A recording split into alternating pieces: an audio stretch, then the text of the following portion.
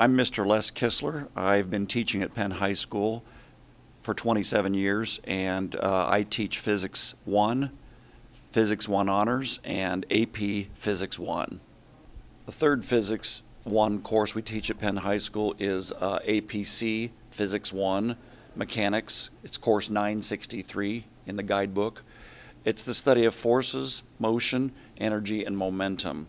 It uses a college textbook and it, it counts for AP credit. To take APC Physics 1, students must be con- concurrently enrolled in Calculus 1 or a higher class. Uh, it employs advanced problem solving skills and lab work, and it's taken by students who want to pursue majors in physics or other related areas, perhaps uh, engineering, architecture, and uh, other science related areas.